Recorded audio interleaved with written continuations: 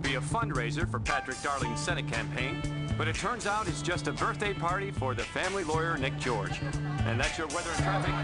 Mr. Mr. George, how did you do it? Question. Nick, tell us, as the Darling family lawyer. It was quite an adventure. Here's the birthday boy. Letitia, darling, you look beautiful. How are you? Hmm. Sure, this will be just fine. Thank you. Have you seen my wife? No. You'll excuse me.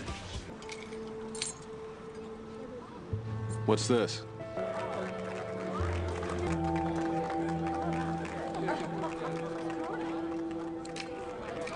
Thank you. What's happening, Nick? It'll be small and simple, just us and the darlings. I promise, Lisa, I'll be there.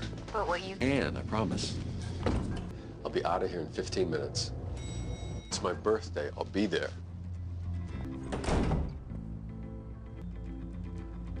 Now? good afternoon. Well, I hope so, Daisy, because the morning monumentally sucked. Oh, Karen Darling's here to see you. Karen, what can I do for you? Why? Dress back on. I... Get dressed. All right. How you doing this? Simon. Sing Simon? Daddy. Thanks for keeping me in the loop. You know what? Sorry. I can't talk right now, Lisa. No, I'm sorry. It's nothing. To meet an old friend of mine, Hal. Nice to meet you. So proud if you were still with us. Thank you. Hey, Brian.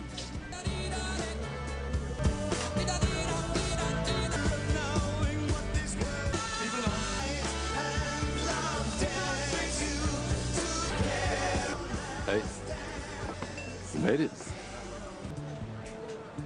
We're okay.